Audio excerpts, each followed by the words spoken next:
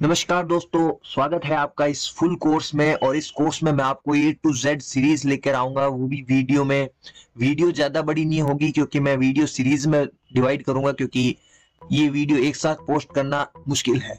तो चलिए शुरू करते हैं आज के best shell tutorial series part one और इस वीडियो में मैं आपको बेसिक कमांड से स्टार्ट करूँगा एलएस जिसका मतलब होता है लिस्टिंग ये फोल्डर्स और फाइल्स की लिस्टिंग करता है, जैसे कि देख सकते हैं इसमें कितनी डायरेक्टरी है और फोल्डर है, वो बता देता है आपको।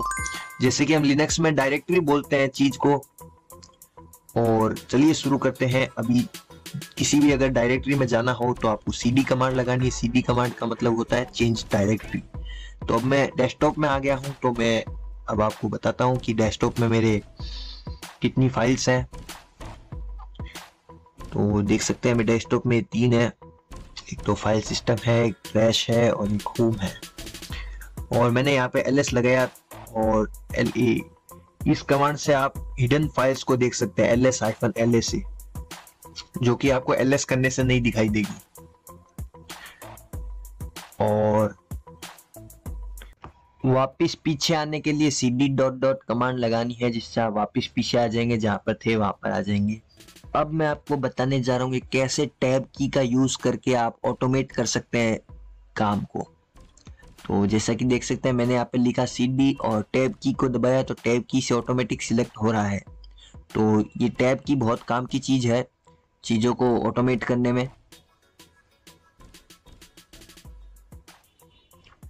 और अब मैं आपको फ़ाइल बनाना सिखाता हूँ, जैसे कि एम के डी आई हैक तो ये एक फोल्डर बन चुका है हैक नाम से। इस फोल्डर में चलते हैं। जैसे कि मैंने बताया कि लिनक्स में डायरेक्टरी बोलते हैं तो मैं डायरेक्टरी का प्रयोग करूँगा फोल्डर की जगह। तो इस इस डायरेक्टरी में कुछ नहीं था तो जैसे कि देख सकते हैं, कुछ नहीं आया एलएस करने के बावजूद। अब इस डायरेक्टरी को अगर रिमूव करना है तो आपको कमांड लगानी होगी R M hyphen R F उस डायरेक्टरी का नाम और ये फ़ाइल रिमूव तो सूडो एस यू कमांड से आप सुपर यूज़र हो सकते हैं प्रिविलेज मिल सकता है और अब मैं बताता हूँ आपको क्लियर कमांड के बारे में। क्लियर कमांड टर्मिनल को क्लियर कर देती है, जैसे कि अभी आपने देखा। और जैसा कि आपने देखा क्लियर कमांड से टर्मिनल को क्लियर किया जाता है। अब मैं आपको बताता हूँ मेन इको कमांड जो कि मैसेज या फिर कुछ भी डिस्प्ले कराने या स्ट्रिंग डिस्प्ले कराने के लिए काम आती है तो जैसे कि आपने लिखा मैंने यहाँ पे हुई लिखा और यहाँ पे लगाया मैंने पाइप और एल एस जैसा कि देख सकते हैं, ये एल एस तो काम कर गया, पर पाइप काम नहीं है। तो सेमी कॉलम लगाया तो दोनों काम कर गया। अभी मैं आपको इसका डिफरेंस बिटवीन बताता हूँ थोड़ी ही देर में, एकदम डीपली और जैसा कि देख सकते हैं, मैंने सेमी कॉलम में लगाया तो सेमी कॉलम में सब कुछ काम कर रहा है, पर पाइप में नहीं किया। ऐसा क्यों? अभी मैं आपको बताता हूँ।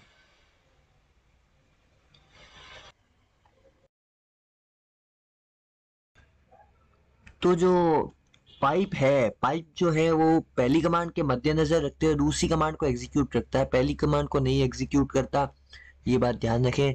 पर सेमी कॉलम जो है, वो पहली और दूसरी दोनों करता है। सबसे पहले पहली नंबर वाली को करता है, उसके बाद दूसरी नंबर वाली को करता है। रेस्पेक्टिवली दोनों को करता है। और पाइप में बल्कि ऐसा नहीं है। पाइप अलग चीज़ है सेमी कॉलम अलग चीज़ है।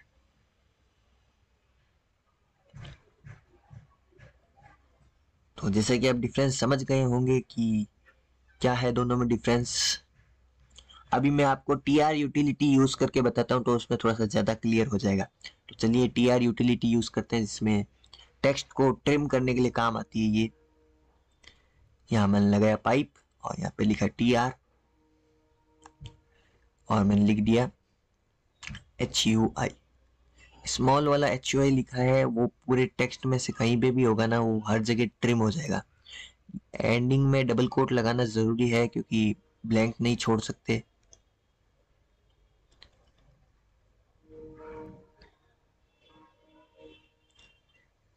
इसने ट्रिम कर दिया है कैपिटल एच और स्मॉल यू को।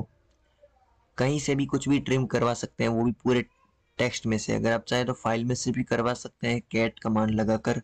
तो उसके बारे में आगे बताऊँगा फ़ाइल हैंडलिंग और A W K S D और बाकी चीज़ों पे भी लाऊँगा वीडियो कुल मिलाकर मैं तीन वीडियो लाऊँगा। अगर सही रिस्पॉन्स रहा तो मैं दस लाऊँगा, नहीं तो तीन वीडियो में ही दैट्स इट अब मैं आपको वेरिएबल बनाना सिखाता हूँ कि ये जो वेरिएबल है, वो आपको ऐसे बनाना है कि स्पेस नहीं देना है वेरिएबल में। इस बात का ध्यान रखना है। वेरिएबल को कॉल कराने के लिए आपको लगाना है इको कमांड और डबल कोट उसमें डॉलर ई जो वेरिएबल का नाम है, उसको डॉलर के साथ लगाना है। उसके बाद में मैसेज डिस्प्ले हो जाएगा। अब मैं आपको बताता हूँ कि टी आर यूटिलिटी के बिना कैसे ट्रिम कर सकते हैं। तो उसके लिए आपको यूज़ करना है curly braces double slash H double slash लगाने से ध्यान है कि अगर आप सिंगल लगाते हैं तो वो पहली ऑकरेंस को करेगा, अगर आप डबल स्लैश लगाते हैं तो वो हर जगह से उस चीज़ को रिमूव कर देगा। जैसे कि मैंने एच लिखा है तो एच को हर जगह से रिमूव कर रहा है। अभी एक बार सिंगल बैक स्लैश से भी देख लेते हैं कि सिंगल बैक स्लैश कैसे काम करता है। तो सिंगल बैक स्लैश लगाने पर ये सिर्फ़ पहली ऑकरेंस वाला जो एच होगा, यानी कि पहली पहली बार जो चीज़ आ रही है, उसको रिमूव करेगा। जैसे कि एच लिखा है तो एच पहली बार कहाँ पर आ रहा है, वहाँ से रिमूव करेगा। नेक्स्ट वीडियो किस पर लानी है, आप सजेशन में लिख सकते हैं। और फीडबैक देना ना भूलें।